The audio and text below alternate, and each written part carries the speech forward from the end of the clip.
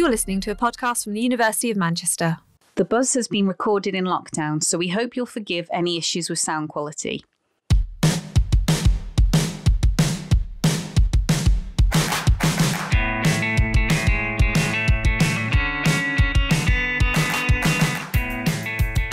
June the 23rd is a very important day on the calendar for many of our colleagues because it's International Women in Engineering Day, launched in 2014 by the Women's Engineering Society with the aim of highlighting the work of women in engineering fields. So, can I ask you guys, what percentage of the UK's engineers are women, do you think? Difficult. Uh, I go for 20? 20. Yeah, I was going to say 20 as well. 20 20 you're both wrong it's actually only 12% so wow it's very low it is low and another stat for you though nearly half of girls aged between 11 and 14 would consider a career in engineering. But by the age of 16 to 18 this has dropped to just 25% and then dropping again to 12% of women actually represented in that workforce so, this episode, I talked to engineering superstars Professor Danielle George and Dr. Jessica Boland about their own journeys into the field and the work they're doing to encourage more girls to follow them. But first, myself, Joe, and Natalie are going to talk about three engineering legends. So, we're going to be on the timer again. We've each brought with us one of our engineering heroes that we're going to tell the other guys about. So, who wants to go first? Anyone? I can go first, if that's okay, yeah. The floor is yours, Joe. Okay, so I'm going to talk about Gertrude Lillian Entwisle. Now, I have to admit that I hadn't actually heard of Entwisle until I came to do this research, and I'm not sure if many others will have either, but I think that's why it's so important that her story is heard. So, what became immediately clear from my research was that Entwisle has done lots and lots, and she's also been the first person to do lots of these things. So, she was a Manchester girl born in Swinton in 1892, and she was an electrical engineer who broke down loads of barriers uh, in order to enjoy a long and successful career. In fact, she was the first British woman to retire from a complete career in industry as a professional engineer. So that was 39 uninterrupted years. Um, she studied at the University of Manchester from 1911 to 1914, but she actually studied physics to begin with under the famous Ernest Rutherford. Um, but during that time, she also started attending engineering classes as soon as females were allowed to do so. She actually failed her preliminary physics exam in 1914 and left the university without graduating. However, I think her story is a really good example of people pressing on despite setbacks and goes to show that with a shift in focus, it can be really beneficial for certain people. Um, so in 1915, she became the first female engineer to work for the company British Westinghouse.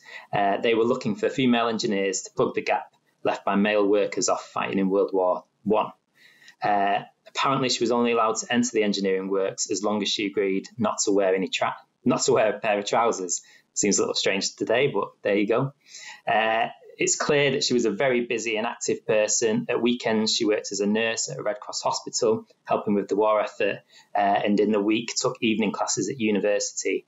Uh, she wasn't married, and this meant she was able to keep a job after the war ended. The company didn't employ married women at the time, which again sounds mad today, but was commonplace back then. Um, and she worked mainly on the design of DC motors and then became a specialist working in exciters. Uh, she was also the first female student, graduate, and associate member of the Institution of Electrical Engineers. Uh, even though at first, in the first meeting she attended, she was suspected of being a militant suffragette there only to cause trouble she wasn't. uh, and this wasn't the only group she was involved in. She was very active in quite a few. So she was one of the founding members of the Women's Engineering Society. Uh, she was involved with the Electrical Association of Women, the British Federation of University Women, the Association of Scientific Workers Trade Union, and was the first female member of the Society of Technical Engineers. So she did loads, as you can tell, and I think she's a real unsung hero. Well, so I'm going to go next, Natalie, as you've bent the rules slightly um, on your choice. So I'm going to go next. I'll just set the timer. Okay, so it's another Manchester hero engineer, war hero, OBE, I am, of course, talking about none other than Beatrice Shilling. So, Beatrice Shilling was born in 1909 and she was really quite a character, even as a child. At the age of 14, she bought a motorbike, which is pretty rock star, I think you'll agree. And she would Definitely. spend ages tinkering with it, and that's when her love affair with engineering really began. In fact, even at this age, she was determined to become an engineer, which wasn't a typical ambition for girls at the time. She worked at an electrical engineering company, and her employer encouraged her to study electrical engineering, but her family wasn't so sure. So I've actually heard a story that her dad was really against her going to university to study engineering until she was able to rewire and fix his faulty bedside lamp. And then he changed his mind and said it was fine. So Beatrice studied electrical engineering at the Victoria University of Manchester, which is now the University of Manchester, and she was one of just two women on the course. And she also went on to study a master's in mechanical engineering. So after graduating, she joined the Royal Aircraft Establishment, which was just three years before the outbreak of World War II. So during this conflict, dogfights were a regular occurrence in the skies over Europe, but the British Air Force had a problem. So when the RAF Spitfires or Hurricanes were pitched into a hard nosedive, the negative G force would flood the carburetor of the aircraft's engine and cause the engine to stall.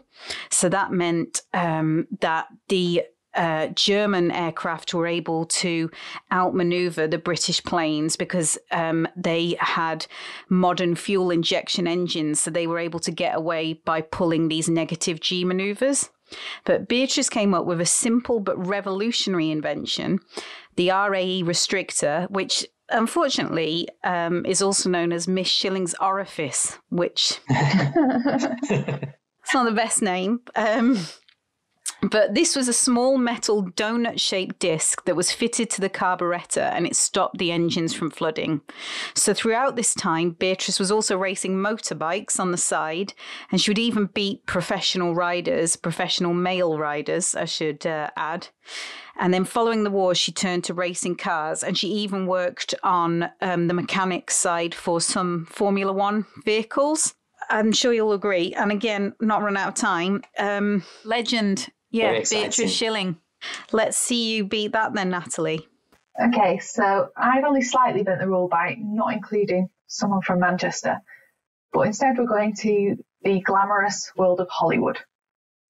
So my engineer is Hedy Lamarr. So she was a very, very glamorous um, Hollywood movie star um, on the silver screen, um, and her work has helped develop the technology we use today she was known mainly known for being incredibly beautiful. Um, she was the inspiration for two cartoon beauties, Snow White and Catwoman. Wow. Um, and in the 1940s, uh, plastic surgery plastic surgery patients requested her profile more than anyone else. So she was born Hedwig Eva Kiesler in Vienna, Austria in 1914.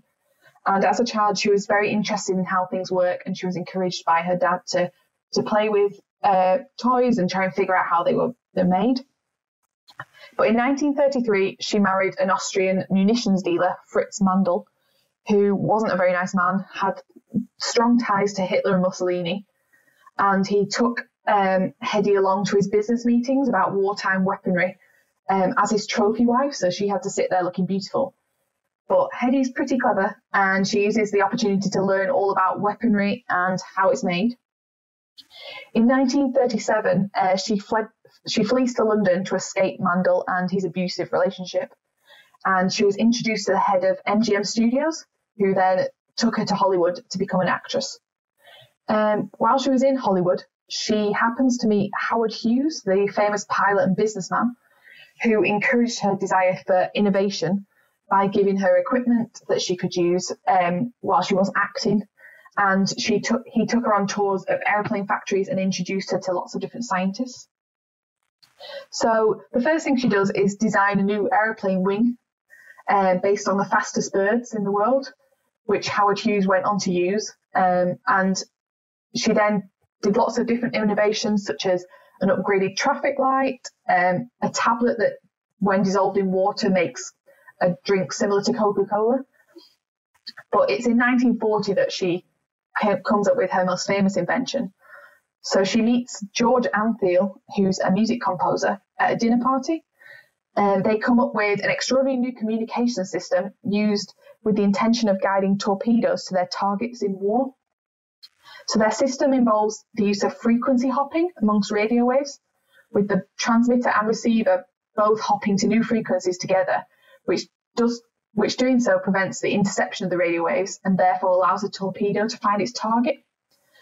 So they after, um, after they've created it, they get a patent and try and get military support for the invention because they want it, they want it to be oh, during the war. Natalie, you've gone I need to finish this story. Okay. I, I, need to finish this story. You it's too finish.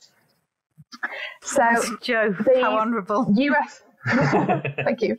So the US military rejects the invention. They say that she didn't have enough military experience, and the patent actually expired before she could ever receive any money from it.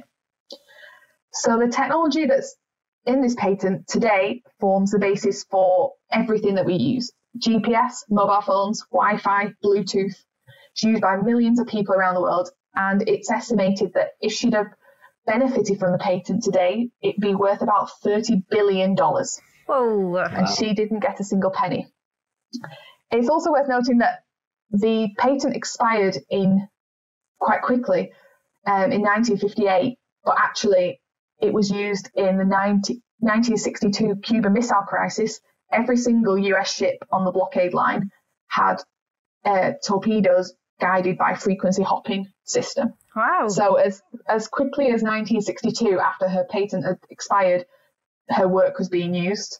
But she was just known as a, a film star. She wasn't, and just too glamorous. She wasn't known as an inventor. and She didn't get any credit for it. Right. So Hedy died in 2000. But thankfully, in 2014, she was inducted into the National Inventors Hall of Fame and finally, finally got credit for her invention, even if she didn't get the $30 billion that she should have done. And that is Hedy Lamarr. Wow. Wow.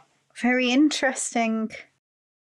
Yeah, I think he broke the word, bent the rules twice there, but it was well worth Over time, I'm not a Manchester inventor, but she was, it was just too good a story not to tell you. Yeah, definitely.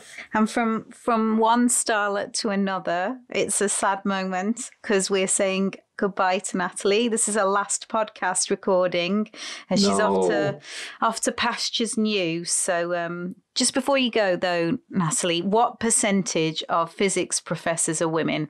Oh no, this is a test.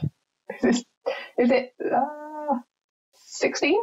I'm afraid it's only 6% and you have learned oh. nothing from your time with us. nothing at all. So close. So, well, I think we're going to miss you a lot. So, definitely. Yeah. I'm definitely going to miss doing this podcast, but I will be subscribing and still downloading the episodes every single month. Thank you. I should hope so.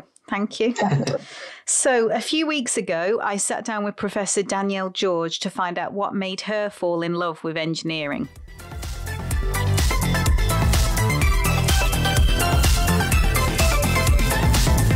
You've previously said that if science is asking why, then engineering is asking how. Is the how something that interested you when you were young? Yes, for sure. Um, I didn't know it was engineering at the time, so so I would always ask why, why, why, why, like many children, and then and I hadn't really realized it, but then I would always sort of follow it up with how. Oh, so how does that work? Not why does it work, but how how does that work? And that sort of stayed with me throughout my education. I hadn't realized it, but all of the the choices I made in terms of projects were always practical. So I wouldn't, I, I never wanted to sit at the computer and reduce data to make, you know, the wonderful um, maps of, of the sky, of the universe. I wanted to help create, design the instrumentation that would ultimately lead to those wonderful maps of the universe. Um, and so everything I did was practical so when I was at Jodrell Bank, when I did my MSc in, in radio astronomy, um, I asked for my for my dissertation project, could I work with the engineers um, at Jodrell? And that that was something very new because the engineers were not the academics, and so I wanted to do an engineering um, project, uh, and and so we had to have sort of special arrangements for my uh, for my um, supervision to have an astronomer plus an engineer because I wanted to make the project very practical. So eventually, I realised that the how was the engineer in me, um, and and so the why is the scientist and the how is the engineer. But it took me quite a long time to to realise that. What was it that drew you to electronic engineering in particular? Yeah, so it was the um, the practical side of of all of the things I loved about astrophysics. So it was the the how things work in terms of astronomy and, and radio astronomy. So how the telescopes work, how can we improve it, how can we make better maps of the sky of the universe, um, and and so as I got more into it, it was all about the electronic side of things. So it's um, the, the low noise amplifiers that I that I design now and my research team design now. Um, it was all about the semiconductor, so the electronic side of it. Um, how can we improve that? and I really like the sort of technology transfer that happens as well between once you get into electronic engineering, I do it primarily for for radio astronomy, but actually there is some great technology transfer into farming and the sort of e-agriculture side of things that you can take from radio astronomy into farming. Uh, you can do it into aerospace. So there's that's what I really like is it's electronic engineering fundamentally at the heart of it, but it can transfer into different applications. Awesome. Um, which engineers inspire you today? So I think I think there are some really interesting entrepreneurs and sort of tech people that are, are engineers at, at the heart, and we need to get that across more. So people who work in Google, people who work in Facebook, um, Dyson, people who work at Tesla, you know, all of these huge companies that we know of have got engineers at the heart of it, and that's what is, is making them work. But I think we need to also look, what I'm really interested in the moment is sort of looking into the past and seeing how many female engineers there have been in the past. And there are so many. Um, uh, I'm starting to look at uh, could you do a day in the life? Sort of, sort of a normal day, just using technology that women were involved in inventing or developing, and it's much easier than you think. Um, you know, windscreen wipers, uh, paper, um, even things like the coffee machine, chocolate chip cookies, ice cream makers, the dishwasher, uh, Kevlar, which is not just for armor, but you know for for cycling, for tennis, for you know, life rafts, for you know so many different things. Women have been um, involved in in engineering, and so that sort of history side, I think, is really interesting. In um, sort of not not thinking that it's new um, women have been in engineering for a very long time. They've just been sort of almost like the voices that engineers have forgotten. And so I'd quite like to bring them to the forefront again. Yes, I had no idea that a woman invented windscreen wipers, mm. and yet they made a movie about the man who invented intermittent windscreen wipers. See, yeah. So yeah, there we go. okay, um, figures. yeah. yeah. I'm sure you hear this a lot, but um, women are notoriously underrepresented in the field of engineering. So just 12% of UK engineers are women. Mm. Why do you think this is? Um, I think it's a similar story to to the sort of physical sciences. Uh, we see a lot more women in the life sciences than we do in the physical sciences. Um, within engineering, there is um, the perception that it's not creative and it's so creative, so creative. Um, and we need really creative people. And the amount of people who I know who are engineers who have a love of music or who are brilliant artists, you know, is incredible. So many of us either play an instrument or we draw or paint or um, so it's so creative. But I think there is also a perception around engineering that it's dirty, that it's hard hats, that it's overalls, and and many women get put off by that. Um, so so we need to sort of again that's another myth we sort of need to debunk is is it isn't all about that. Yeah, for sure, there are engineers that, that wear hard hats and, and get dirty, and, and that's great, and you know we should celebrate that. But there are also so many other engineers that that doesn't happen to as well, um, and and so I think there's this sort of public perception around engineers that we really need to work with everybody. And that that is government that is media that is schools. Everybody needs to get on board with how diverse engineering is. Once we all get that message we'll get more women. Do you think engineering is something you can come to later in life? Yeah for sure. Um, i mean i so i came to engineering um, when i sort of started my career. So all throughout my education was very much um, the physical sciences. So I studied maths, physics, chemistry. I went to do astrophysics. I then studied radio astronomy. It wasn't until I started my first job that I, I started engineering um, in a sort of an official capacity. I guess I'd always been it, but hadn't quite realised it.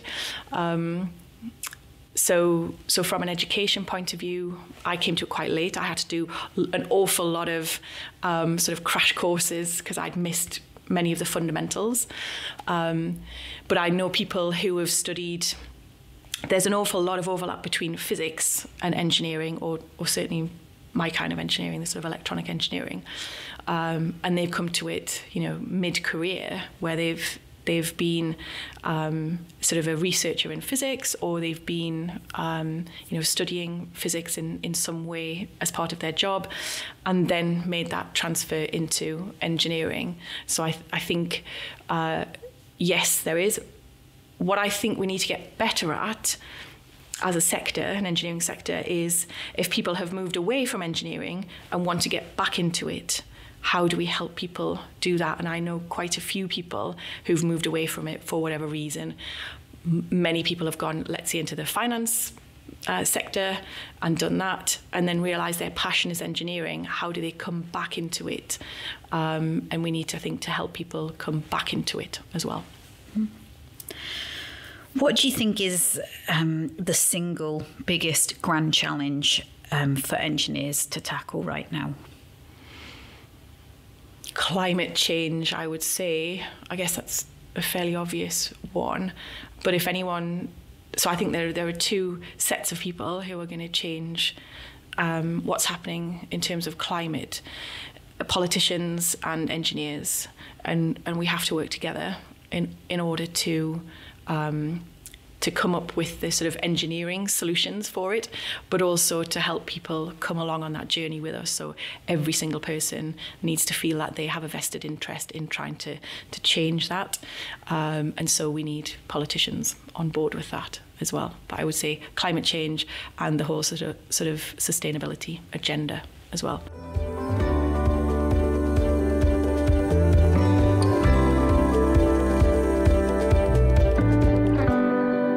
On to our regular feature now, where we ask your kids to ask our scientists and engineers anything. This episode's kids' question comes from Mia, and I'll let her ask it herself. Why are there more men scientists than women scientists? We have plenty of replies to this great question. Eamonn Kerins says, because we've not always made sure that everyone gets a fair opportunity to be a scientist, we're getting better at trying to fix the problem. Help us by pursuing a science career. Us male, male scientists will benefit too, as science will make progress faster with better scientists. Great point. Meanwhile, Marcus Gersabeck says, because we need your generation to grow up and follow your curiosity. Never let anyone tell you that something isn't for you. There's loads of support for all curious minds, but this hasn't always been the case to the extent it is now. Meanwhile, Dr. Sarah Mohammed Qureshi says, Actually, Mia may be surprised to learn that scientists and people studying to be scientists across the University of Manchester prevent a fairly balanced mix of genders. Unfairly, though, TV, books, and other media tend to show men as scientists, which is what makes it appear that mainly men do science. What do you think about that?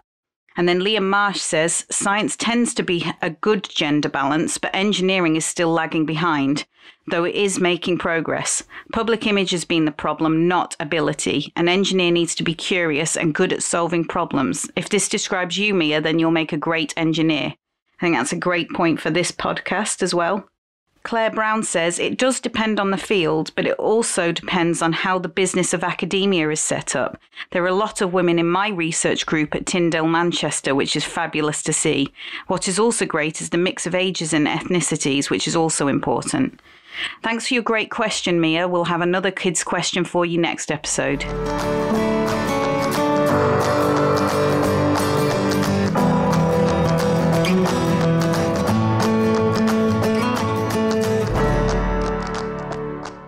Recently spoke to Dr. Jessie Boland and asked her to tell me what excited her about engineering as a child.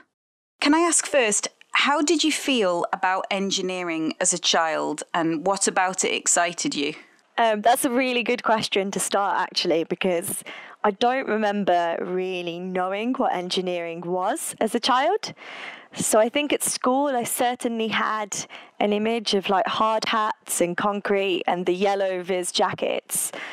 So I don't think I had a love for engineering as a child because I certainly looked at the hard hats and went, nah, that's not for me. I don't want to be Bob the Builder. So I was obsessed with ballet right. as a child. So yeah, I don't think actually as a child I really had a love for engineering, but was very much still asking questions. Brilliant. Um, you've you've talked a lot about what engineers look like, and you work hard to blast away those stereotypes. When did you know that you wanted to become an engineer? Not till very late in life. So I think I'm still working out if I want to become an engineer, even though I am one. so um, yeah, I kind of um, fell into it. So actually, my background was in physics, um, but before that, I wanted to be a professional ballerina. Um, my mum encouraged me to have a backup and I started studying languages, science, enjoyed maths, and then I kind of took the maths, went to more applied maths towards physics, and then just found that the type of physics I liked was an application. So, what can I do in the real world?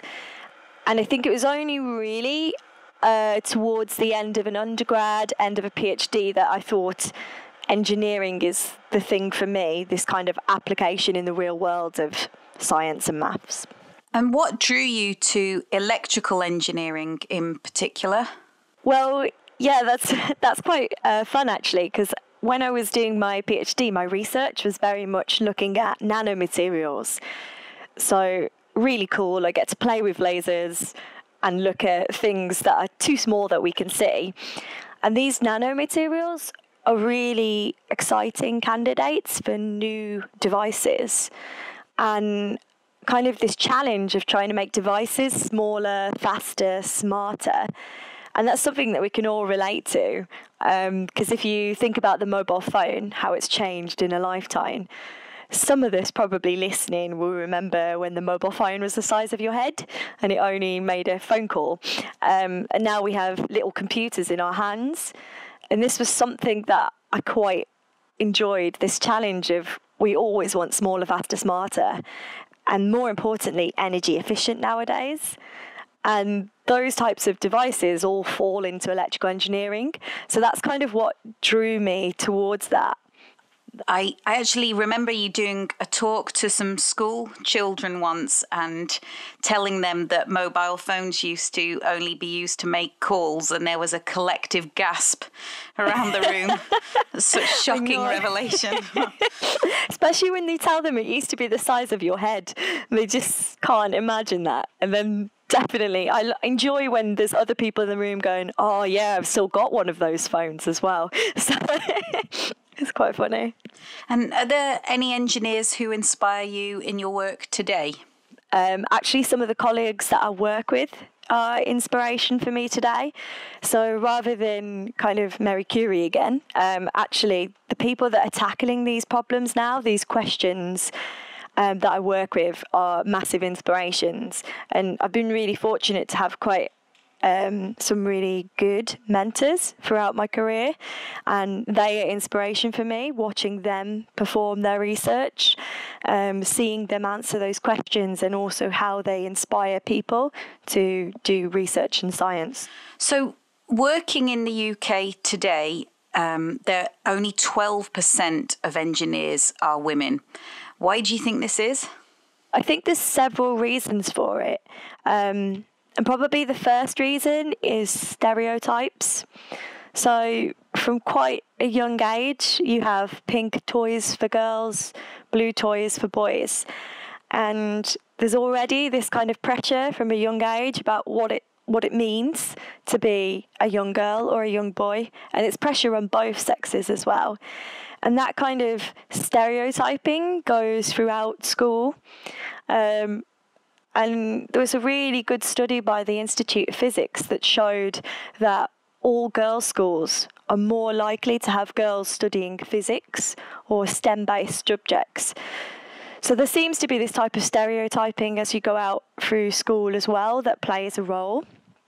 I definitely think the idea of engineering as hard hats and concrete, which is something I personally felt as a child, um, also comes into play.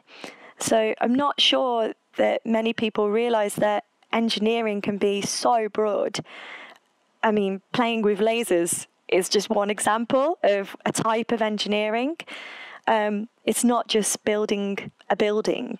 Um, there's several different types, and it can look quite different. And I think uh, that kind of classical idea of engineering also plays a role.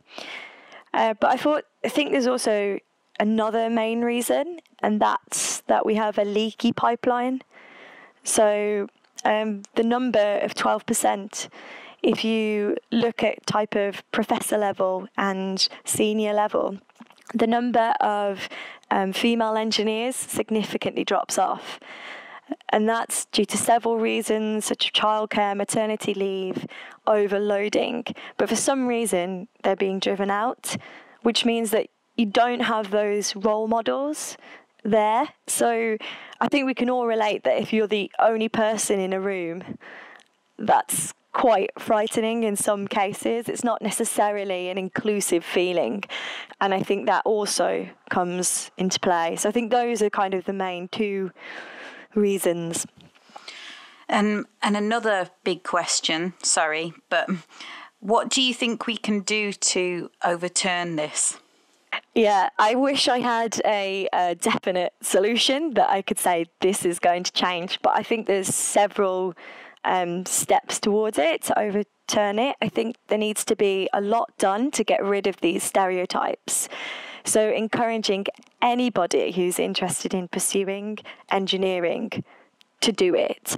So that there's no reason for someone who says, Yeah, I love engineering, to not take up engineering. So I think we need to get rid of some of these stereotypes across the board. Um, so not just for women in engineering, but also it's uh, for men in language subjects. So get rid of any stereotypes. Anyone can study what they want. I think another small thing that we can do is stop talking about women in engineering and female engineers as well, um, because we are just engineers as well. So we need to make that normal. I don't think I've ever heard um, a male engineer be called a man in engineering. So just being given the title of engineering or physicist or scientist. And then I think we really, really need to solve the leaky pipeline first because um, there's a lot of focus on getting more women in at undergrad level, and that's important as well. But once we've got them into the subject, we need to keep them there. We don't need them dropping out. So I think we need to tackle that leaky pipeline. And I think some things that could help is dual career network, shared parental leave, making sure women aren't overloaded with admin roles, pastoral roles, for example, making sure that there's nothing in an institution that's stopping us being there and stopping us performing. Um, so I think there needs to be some kind of research done about the leaky pipeline as well. Um, and if we can have more role models, positive role models, then maybe that will help as well get more women into engineering at the start.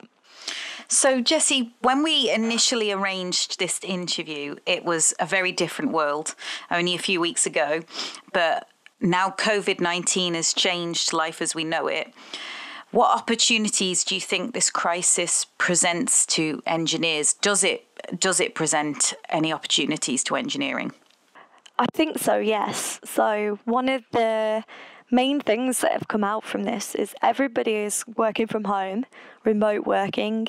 We've got more flexible working hours, and a lot of us have to juggle childcare, homeschooling, working from home.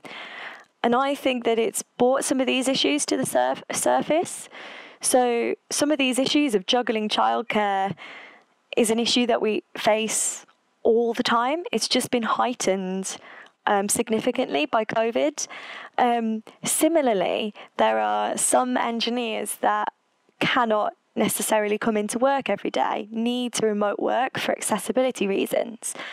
And COVID has brought that again to the forefront. So we've seen that in more detail and we've had to find ways around it.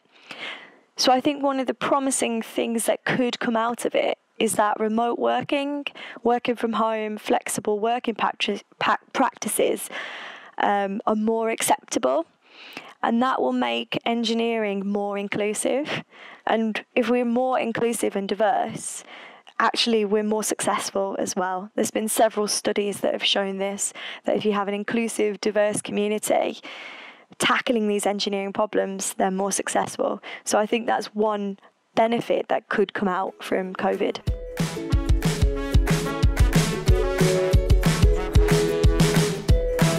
That's all for this episode of The Buzz, but we'll be back soon with a brand new episode.